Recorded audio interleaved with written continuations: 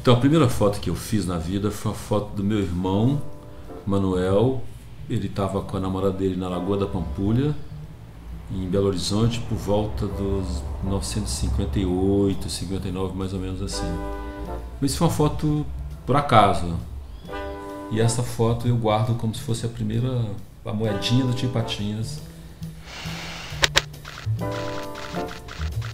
O tempo passou, eu me fiz vários empregos, até que um dia eu, eu encontro um fotógrafo da revista Cruzeiro, o Luiz Alfredo.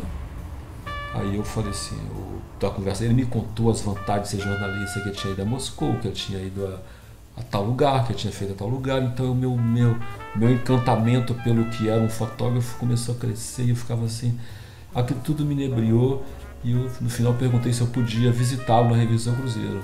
Ele disse que sim. Eu, tá bom, então no dia seguinte eu fui lá. Né? E o editor, o diretor da revista, ele passou uma pauta para mim, que era fazer uma experiência. Aí o trabalho que eu tinha que fazer era sobre uma pintora que chamava Estergilda Minicucci. E quando eu fui lá, eu tinha umas luzes de sol, altíssima luz, que iluminavam um pouco o perfil e o quadro, aí eu fotometrei para pegar outra luz. E o resultado, quando chega na redação, manda revelar o filme, naquela época você mandava revelar o filme, esperava um dia para ficar pronto. O editor viu, olhou e falou assim: Mas essa luz não interessa para nós, para a revista, essa luz não, não é.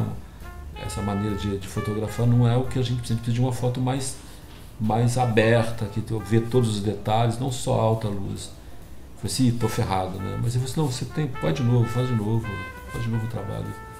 Aí eu fiz conforme o que ele pediu e daí eu tive muitos fui, ele gostou do trabalho e passou outros freelancers e eu também outras matérias a fazer. Eu comecei a trabalhar bacana e nesse lugar tinha o, como repórter o Fernando Brant.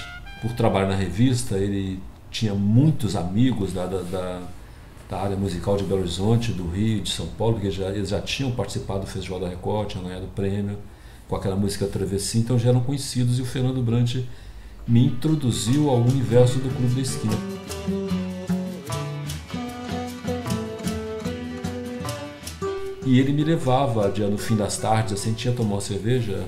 E ali eu conheci muitos músicos, e eu conheci o Milton, conheci o Lou, o Fernando, o Márcio, vários deles. E um dia o Milton me chama para documentar, a fazer foto dos, dos, personagens do Clube da Esquina. Eu fui com o Fernando Brant em vários lugares de Belo Horizonte para fotografar esses personagens.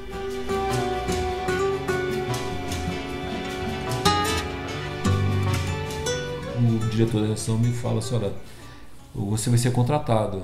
Você escolhe, tem duas opções de você ser contratado. Você pode ir para o Rio de Janeiro ou para Salvador, você escolhe e a gente concorda com a tua escolha. No dia 14 de outubro de 1971, eu aterrizo em Salvador, num, num avião que chamava Caravelle, e me lembro muito bem da música que tocava no avião quando eu estava vindo de, do Rio de Janeiro para Salvador. Né? Era aquela música Caravan do Miles Davis. Em 2012 veio um amigo meu que, que é cônsul nos Estados Unidos e São Paulo e ele me convidou para um encontro lá no que a gente foi, fez na Vila Madalena, um jantar lá e ele falou assim, João, eu conversei com alguns fotógrafos que é o Orlando Brito, o Milena e o Zé Medel, o Evandro Teixeira e o Jorge Araújo para a gente fazer um evento de fotografia no Brasil mas a gente conversou lá e a gente queria alguém que pudesse executar esse projeto. Você toparia me ajudar? Falei, embora, vamos fazer isso. E aí tivemos mais algumas reuniões e o projeto começou a ser desenvolvido aqui em São Paulo, isso foi em setembro. Aí eu fui escolhi os, os 22 fotógrafos, com a ajuda de muitos amigos, muitos profissionais, a gente é, formatou um projeto que chama Fotojornalistas Brasileiros.